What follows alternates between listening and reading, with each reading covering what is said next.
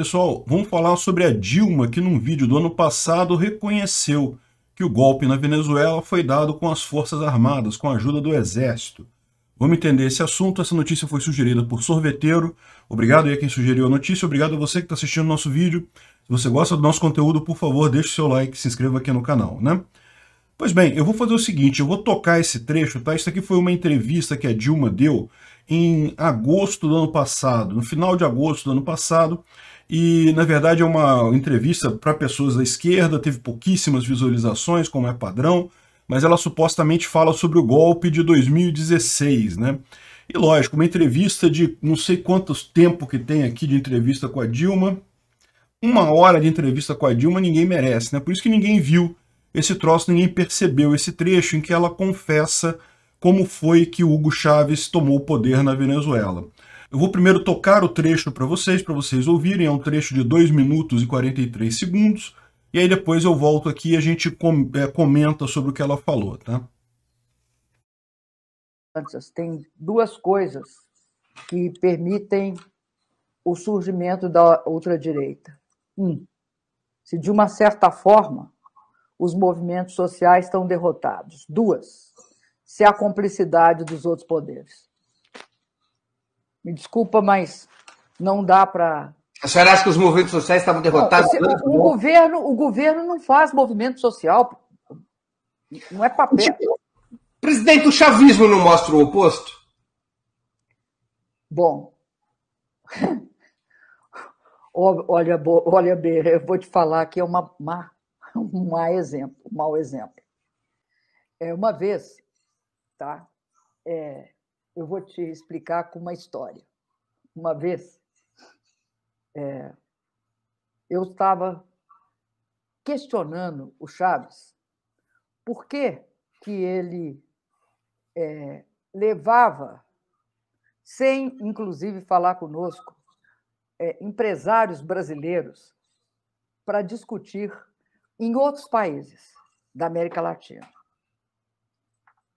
E perguntei para ele assim: a título de conversa amigável. Você acharia correto, Chaves, que a gente convocasse seus empresários para levar lá para outro país para fazer uma discussão?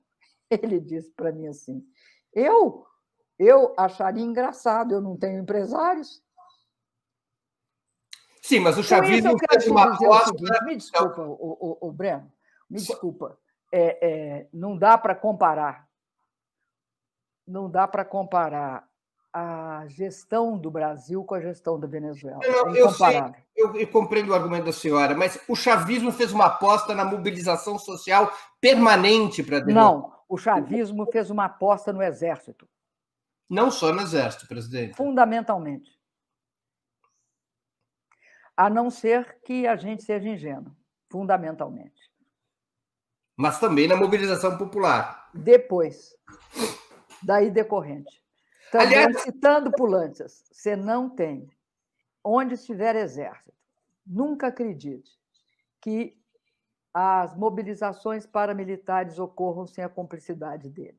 Então, né, vocês viram, tava aí o cara da esquerda até incomodado com a resposta da Dilma, ele sentiu, caramba, ela tá saindo do, do script da esquerda de dizer que são os movimentos sociais que garantem o bolivarianismo, que garantem Hugo Chávez lá.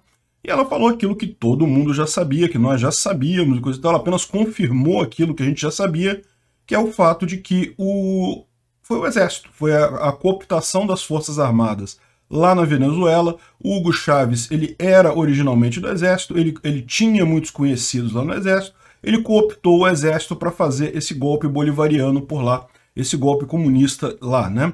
E não tenha dúvida alguma que o PT caminhou no mesmo sentido aqui no Brasil. Eles também colocaram na, na, no topo das Forças Armadas um monte de gente de confiança deles. A questão toda do PT aqui no Brasil é que eles achavam que eles tinham tempo, lembra? O Lula governou duas vezes, sabia que voltaria com facilidade. A Dilma, eles esperavam ficar duas vezes a Dilma, depois o Lula voltaria e ficaria mais dois períodos, mais dois mandatos. Então, ou seja, no final das contas, eles estavam tranquilos com relação ao tempo, eles não sentiam a pressa. O Hugo Chaves, de forma diferente, não, ele tinha pressa. Ele quis rapidamente cooptar o exército, tirou todo mundo que era contrário a ele, e foi isso que garantiu o poder dele, né? O cara lá, da, o entrevistador ficou até sem jeito, não, mas os movimentos sociais também ajudaram, né? Também foi importante. Não, o movimento social ele construiu depois. Ela chegou a falar, olha só, não ache que tem qualquer grupo paramilitar lá na Venezuela que não, não obedeça ordem do exército. Ou seja, entregou o que, que acontece. Essas milícias todas que tem lá na Venezuela, que o pessoal chama de é, é, coisas independentes, como se fossem independentes, na verdade, são independentes para não manchar o presente, não manchar o governo, não manchar o Hugo Chávez ou o Maduro agora. Na prática, obedecem a esses.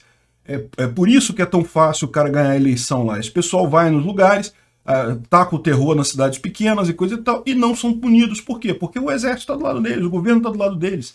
E daí, no final das contas, ah, mas aí se alguém acusa, não, mas é, fizeram, estavam obrigando eleitores a votar e não sei quem. Ah, não, mas não era o governo, não, era uma, uma milícia aí qualquer, uma milícia terrorista, um movimento social e coisa e tal. Ou seja, ela explicou muito bem qual é o padrão disso daí, e, era, e repara como era o padrão que o PT vinha trazendo no Brasil. Eles estavam cooptando as Forças Armadas, eles têm os, uh, as milícias aqui também uh, associadas, tem o MST, tem o MTST, tem uma série de milícias aí por aí. No final das contas, eles conseguiriam fazer isso de forma muito tranquila, porque eles tendo o controle das Forças Armadas, o resto é ridículo, né? A questão da piadinha dos empresários da Venezuela não tem empresários chega a ser engraçado porque não tem por culpa do próprio Chaves, né? O Chaves é, usurpou todo mundo lá, tirou a propriedade de todo mundo lá, e não tenha dúvida nenhuma que em algum momento aqui no Brasil o PT faria isso também, né? Então esse daí, não tem grandes novidades nesse vídeo não, tá? O impressionante é justamente ver a Dilma admitindo isso, foi isso mesmo. Movimento social, porra nenhuma, o negócio é violência. Obrigado por assistir o vídeo até o final. Além de curtir, compartilhar e se inscrever no canal, considere se tornar patrocinador com valores a partir de R$ 1,99 clique no botão Seja Membro abaixo para saber as condições e vantagens de patrocinar o canal. Mais informações sobre o nosso projeto, visite nossos sites indicados na tela.